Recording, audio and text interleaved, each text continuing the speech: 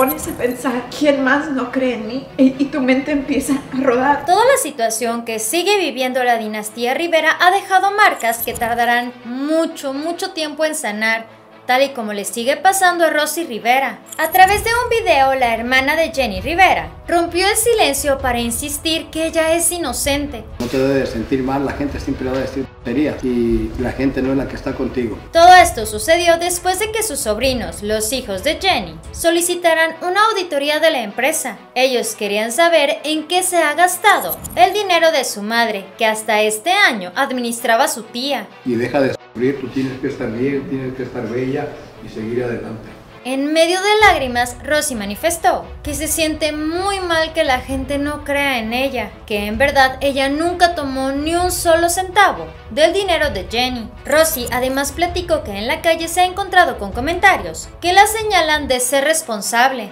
Pero el saber que tu familia no cree en ti, este gigantesco contratiempo comenzó en junio pasado, cuando se dio a conocer de manera pública la investigación, que derivó en la ruptura de los hijos de la diva de la banda, con sus tíos y su abuela doña Rosa Saavedra. Nunca le vas a poder la boca a toda la gente que dice que olvídate de eso. Frente a sus padres y a sus hermanos, Juan y Pedro, Rosy Rivera dijo que este año 2021 había aprendido demasiado. Hay muchas personas que le están señalando de responsable. Este año me ha enseñado mucho. Este año me fijé que mucha gente no está. Rosy le dijo a sus familiares que si ellos tenían la intención de hablar públicamente de ella, que lo hicieran, que ella no se iba a sentir mal por eso.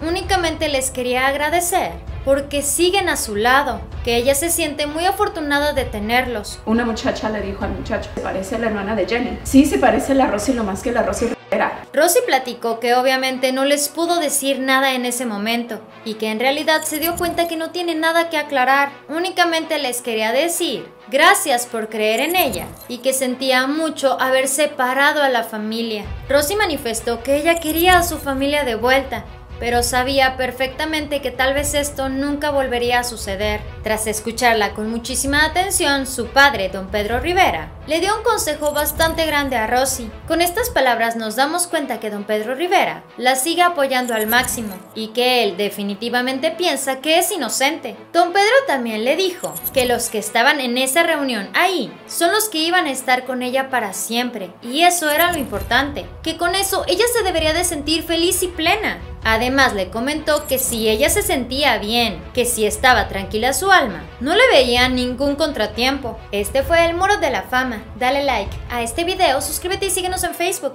Pero antes de que te vayas, chécate este video, estoy segura que te va a encantar.